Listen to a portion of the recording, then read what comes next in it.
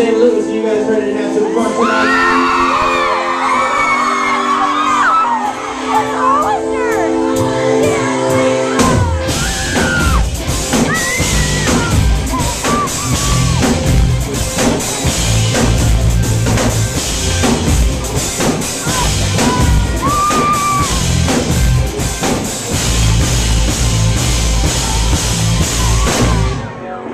Electric from Chicago.